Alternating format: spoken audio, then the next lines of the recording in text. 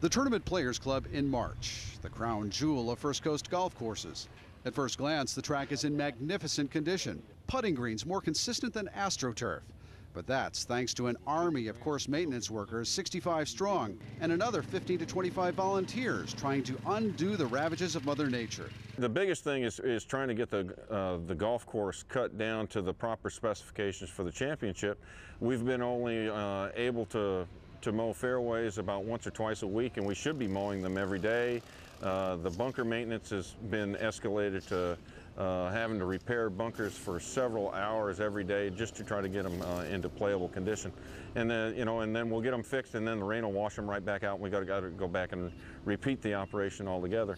But Klauk is confident that come next week's opening round, the players will have damaged wet spots repaired, and the entire course will be up to tournament conditions. The golf course is going to play a little bit softer.